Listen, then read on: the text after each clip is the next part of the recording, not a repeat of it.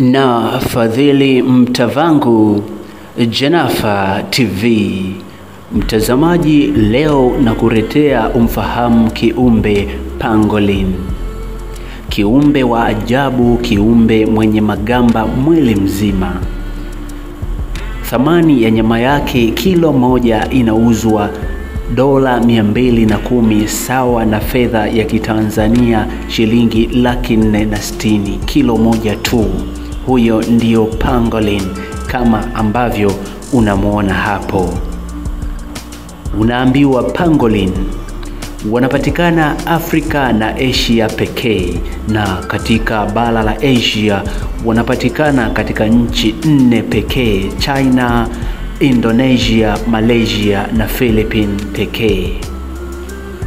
Pangolin katika bara la Afrika wanapatikana katika ukanda wa tropical savana. Viumbe pangolin ni viumbe wenye magamba mwili mzima, tena magamba magumu sana, mithili ya gamba la kobe.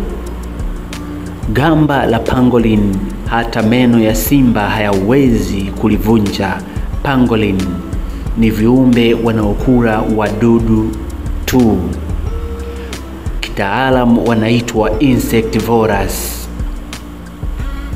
Kwa jina jingine pangolin wanaitwa skull anteaters. Neno pangolin linatokana na neno la Kimalaysia pangling lenye kumaanisha kujizungusha au roll up.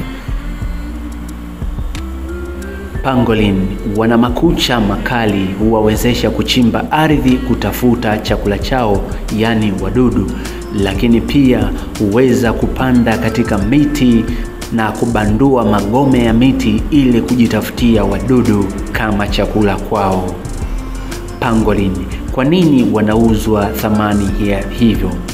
Huko nchini China, nyama yao na mikojo yao hutumika kutengenezewa dawa maalum ambayo inauzwa ghali sana.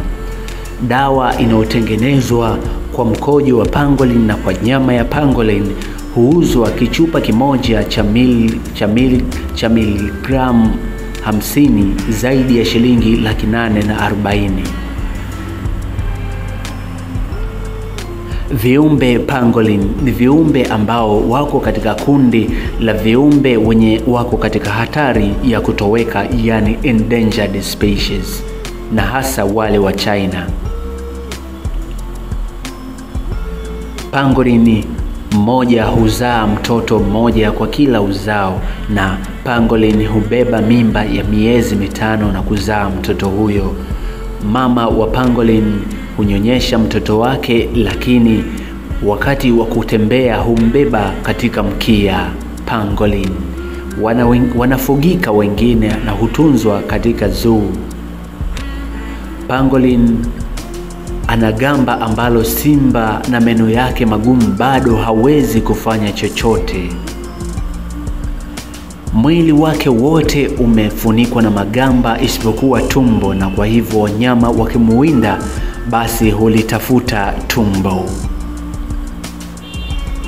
Pangolin hana meno kabisa katika mdomo wake, badala yake ana ulimi mrefu sana ambapo hutumia kunasa wadudu anaowatafuta, lakini pia ana mate mazito sana mdomoni mwake. Baada ya mdudu kunaswa, hupakwa yale mate na kulainishwa na kumezwa akiwa mzima bila kutafunwa, kwa sababu hana meno. Pangolin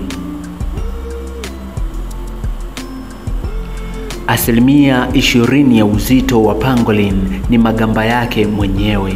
Pangolin kiumbe wa ajabu.